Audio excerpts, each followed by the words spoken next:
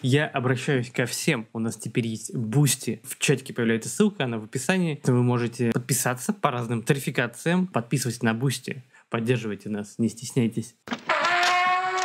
Держи. По-моему, я не смотрел искусство кино.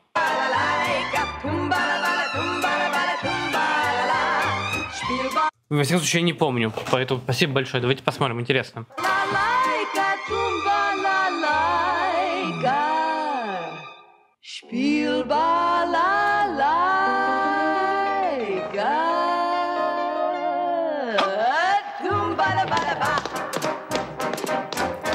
Так, видео называется «Искусство кино» о режиссере Алексей Герман старший. Алексей Герман Точно это не видел. настоящий классик российского кино. Можно сказать, и советского, хотя вряд ли бы он стал ассоциировать себя Да, про кинодорогах реально очень крутой. советским кинематографом, потому что слишком он выделялся из общего ряда. И, может быть, поэтому фильмов ему удалось за свою жизнь снять не очень много. Работа тормозилась прежде всего Ну, фильмография Германа реально небольшая. Что там «Проект кинодорога», «20 дней без войны», «Мой друг Иван Лапшин», э, «Хрусталев машину» и, соответственно, «Трудно быть богом». И можно еще «Седьмой спутник» посмотреть. Кажется, все, да? Да. Начальниками кинематографическими, которые заставляли вносить Шесть я какой-то пропустил, значит. А. различные изменения уже в готовый материал. Либо фильмы укладывались на полку и ждали своего выхода по многу лет. Ты на меня не кричи. Я на тебя товарищу Калинину напишу. На, пиши. Впрочем, он и сам настолько серьезно относился к своему творчеству, что бывало, что работа над фильмом занимала пластиковом стульчике. тоже немало времени. Например, над последней своей картиной «Трудно быть Богом» он работал 13 лет. К счастью, успел ее завершить, в принципе, и все равно там на финальной стадии ее доделывали уже его жена, По его записям каких-то. Ну, я думаю, все равно он примерно в таком виде, в каком должен был быть, остался. сценарист Светлана Кармалита, и сын, режиссер Алексей Герман-младший, который работал над озвучанием картины. Стой. Нагнись. К Герману приклеился эпитет режиссера гиперреалиста. Благодаря Я бы не сказал, что это гиперреализм, там все-таки есть какой-то нотки гротеска. тому, что фильмы его, как правило, насыщены, может быть, даже перенасыщены деталями. На самом деле, как говорил сам режиссер, реалистических фильмов у меня только два. «Проверка на дорогах» и «20 дней без войны». А по-настоящему реалистичным режиссером я считаю Феллини. Все остальные излишки деталей, которые появляются, кроме того, что режиссер изображает в виде такой сновидческой реальности, это всего лишь бытописательство. И Ну, это еще воспоминания. Надо понимать, что в обоих фильмах, ну, «Трудно быть богом» — это вообще фа- фантастический сюжет, а в «Мой друг Иван Лапшин» и, соответственно, в «Трудно быть богом» — это все воспоминания, и, собственно, там как бы нам ненадежного рассказчика, героя, который был в детстве, показывают. И там вторая часть «Хрусталев машину» эм, это, по сути, вообще домысл мальчика, куда его отец делся. Возможно, его избила машина в тот момент, мы знаем. не, не имеют отношения к настоящему реализму. Надо мне, ребята, чтобы были хоть чуток на немца похожи. Сновидческими картинами он называл в том числе и «Проверку на дорогах». Это картина, которую он снял по произведениям своего отца, писателя Юрия Германа, которого чрезвычайно уважал. У Юрия Германа было две любимых темы – чекисты и медики. И по его произведениям снято немало фильмов еще в советский период. Мой друг Иван Лапшин – это история, в основу которой положены реальные события, происходившие в Ленинграде в 30-е годы, даже точнее в 1937 году. Снималась картина не в нашей культурной столице, потому что режиссер, который всегда очень скрупулезно относился к выбору натуры, не мог найти себе подходящих Но он увидел вот эту вот арку, которая там есть, и типа подумал, да, я хочу здесь снимать. декораций, локаций. И вот он увидел на фотографии изображение деревянной арки в парке и скульптур пионеров и прочих э, таких советских героев гипсовых, которые часто в парках сооружали. Ему это сразу понравилось, и действие... Не, город фактурный, там, конечно, есть такая фак фак фактура хорошая. В фильме происходило как будто... И трамвай туда еще привезли. Удуматься тоже. В неком провинциальном Унчанск. городе Унчанске. А это товарищ Лапшин, наш местный Пинкертон. Был участником многих, так сказать, жутких драм. Главный герой картины – это милиционер, начальник местного уголовного розыска, который занимается расследованием дела о маньяке, убийце. У тебя тоже голубые. В общем, белесы. А у татарина черные? Я спрашиваю, у татарина черные? Так, сейчас, не скажу. Какие? Какие глаза у татарина? Татарские. У татарина татарские.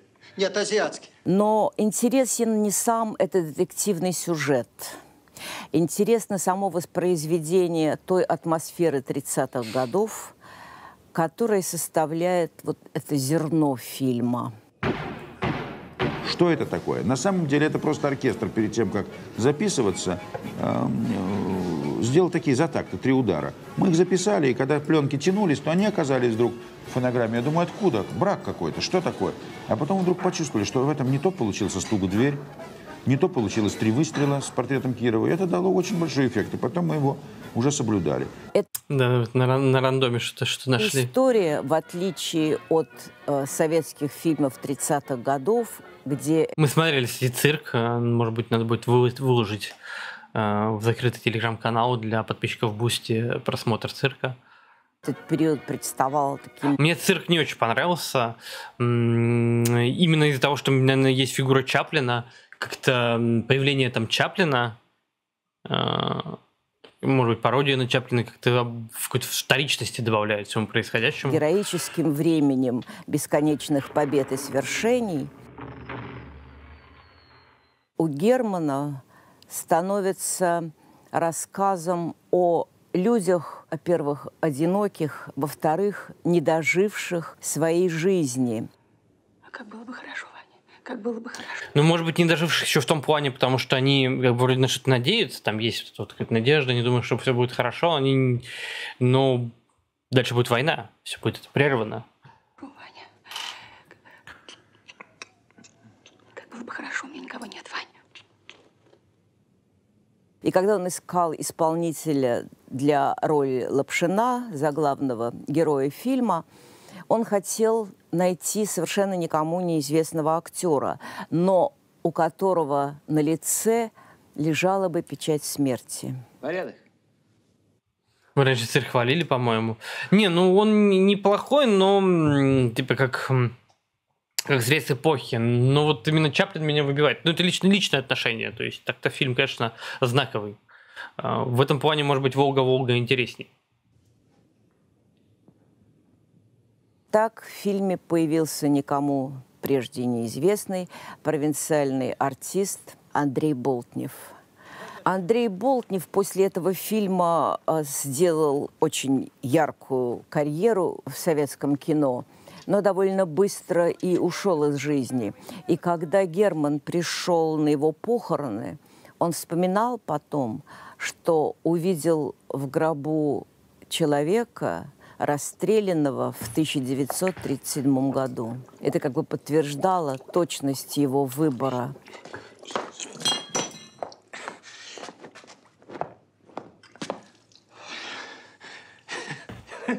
А вот на вторую главную мужскую роль ему нужна была как раз звезда – и он выбрал Андрея Миронова. Но не просто звездой был Андрей Миронов. Потому что если вглядеться в его глазах, мы тоже видим затаенную печаль и, может быть, обреченность. Ну, кстати, вот эта вот обреченность он хорошо там отыгрывает, и какой-то такой рок, он присутствует в образе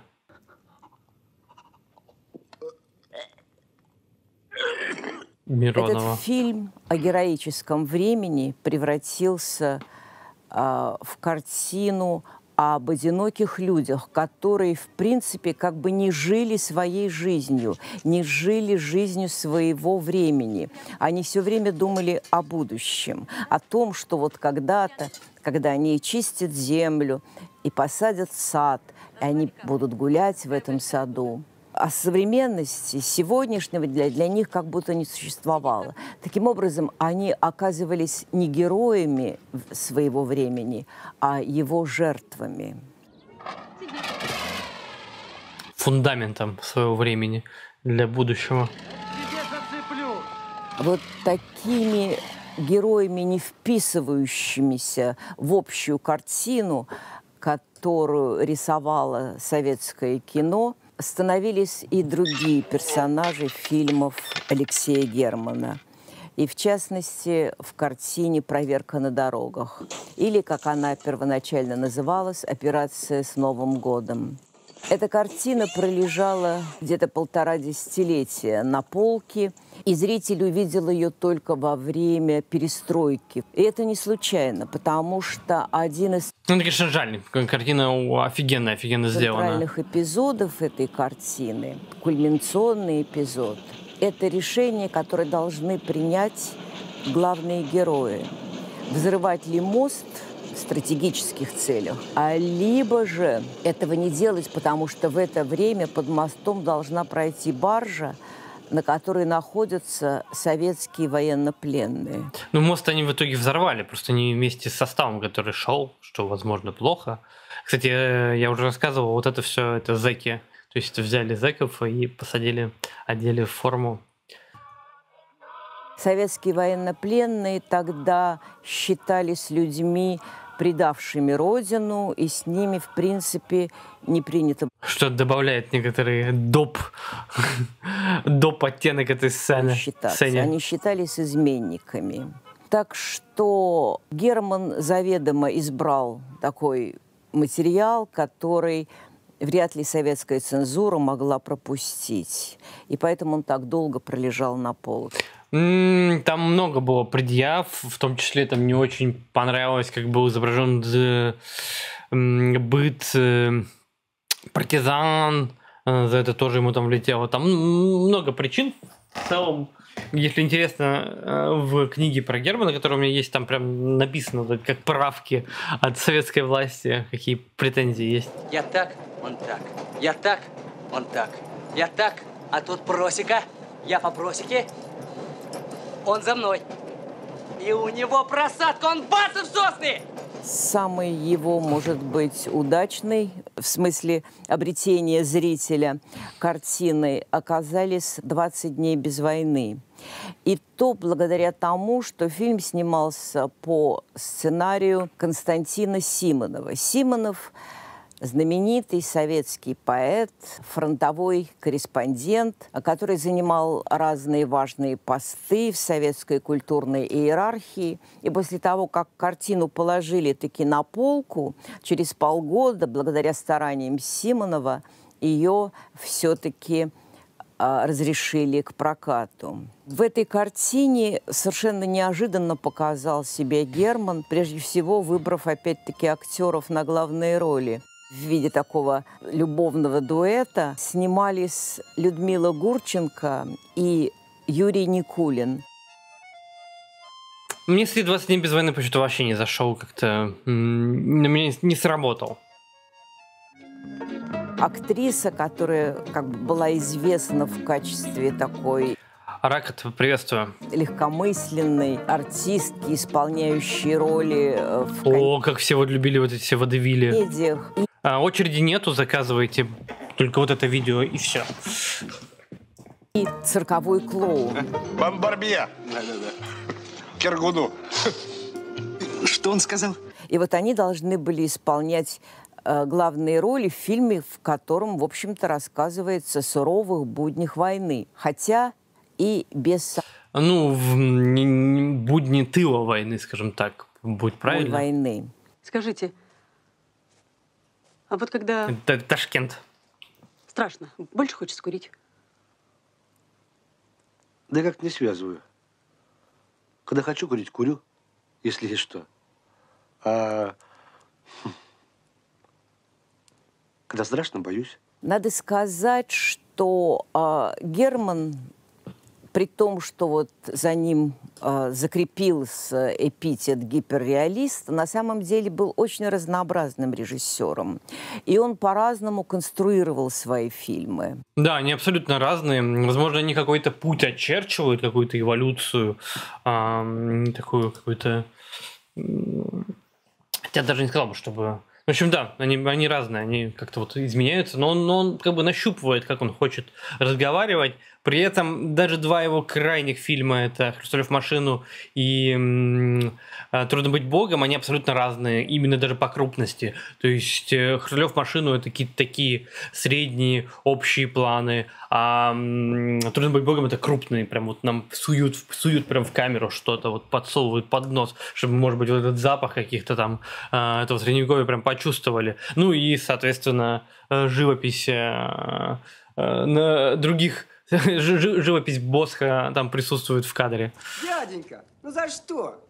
Ну, дяденька! Нет, там есть, там есть. Э, вспомните хотя бы «Поживая пупырка», гигантский такой а, однокадровый, ну, там есть монтажные склейки, а, монолог в поезде. А вот, например, картина «Мой друг Иван Лапшин», она развивалась традиционным способом от завязки к развязке, через кульминацию. А фильм «20 дней без войны» уже был таким многосоставным, сложным. Он состоял как бы вот из фабулы приезда фронтового корреспондента, которого играл Юрий Никулин, в тыл на несколько дней для того, чтобы принять участие в съемках картины по его материалам. Это с одной стороны. С другой стороны, сюда подключаются отдельные и независящие от основной коллизии фильма истории, микроистории э, второстепенных персонажей, рассказывающих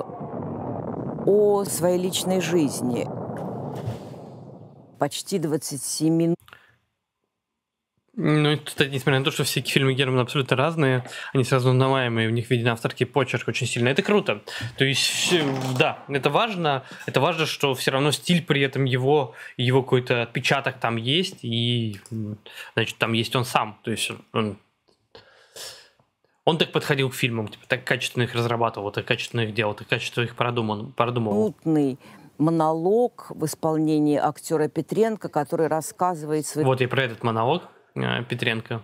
спутнику в поезде об отношениях с женой, которая ему изменила, пока он был на фронте. А мне солнышко, как засело солнышко, я за стол уцепился вот так и крик, вот страшный, молчать, и держусь, чтобы не схватиться только. Или такой микроэпизод с женщиной, которая спрашивает у героя Никулина о том, ну вот как вы думаете, почему мой муж так долго мне не пишет? Ведь столько времени уже прошло, как я получила его последнее письмо, несколько месяцев. Я начинаю думать. А вы не думайте. Ждите и все. Да? Да. Вы так считаете? Четыре месяца – это не срок. Периоды бывают длинные. Да. Да. Всю зиму могут. Да, вот и Вадик так считает.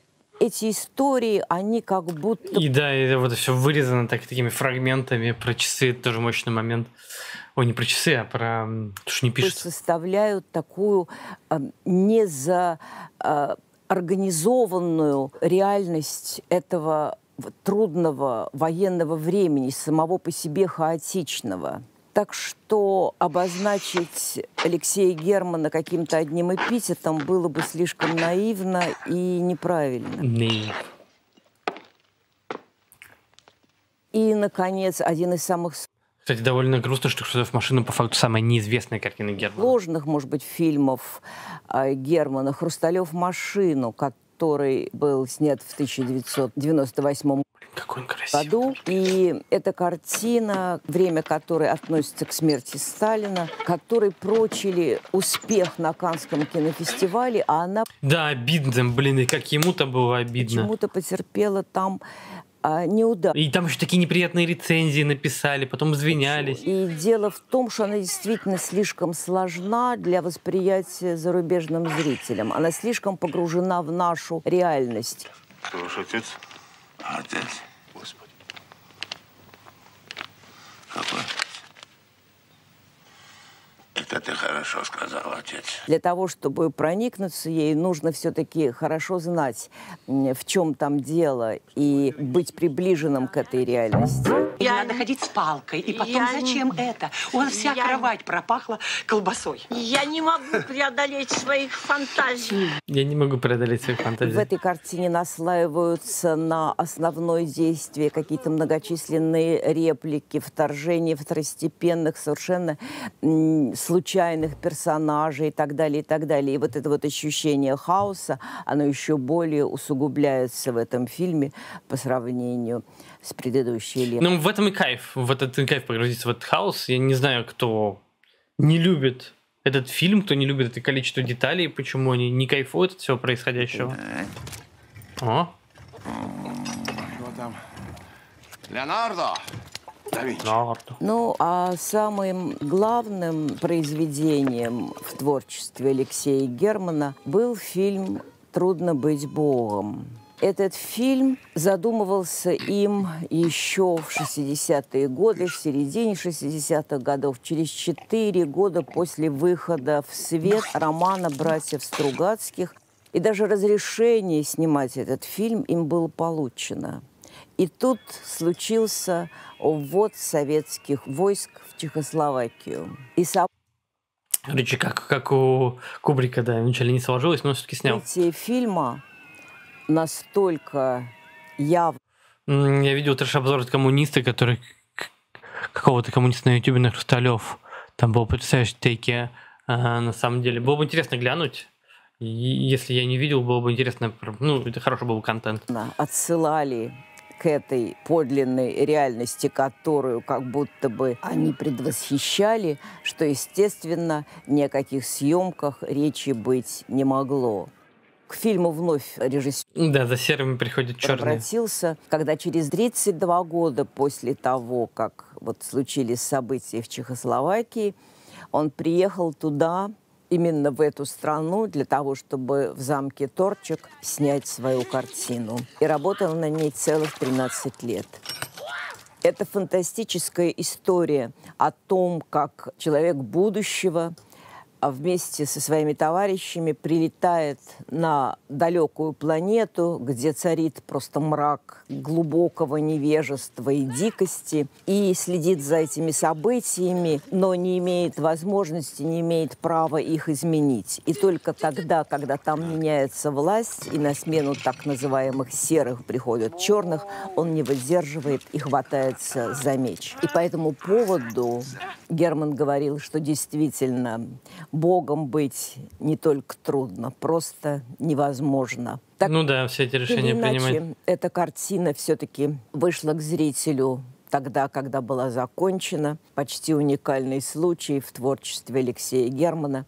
И она стала вот тем, что называется «опус магнум», великое произведение, большое произведение жизни, в котором ему удалось сказать, Но оно, оно тоже кайфово, оно тоже классное, оно тоже такое медитативное. суммировать то, что он пытался сказать на протяжении Но Хрусталев машина мне все-таки больше нравится.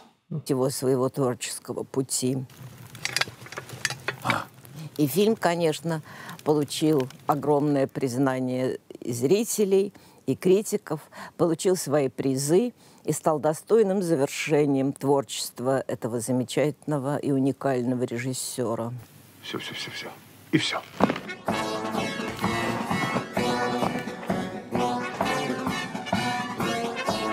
Все, все, все, все, и все.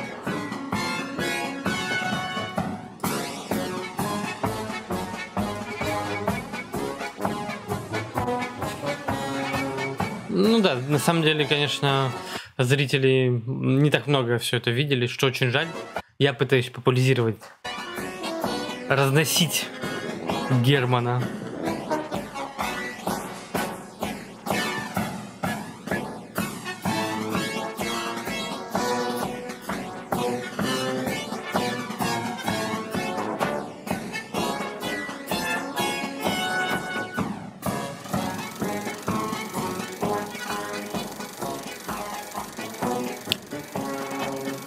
Смотрели. Спасибо огромное, Аноним, за тысячу рублей, за поддержку, за донат. Спасибо огромное.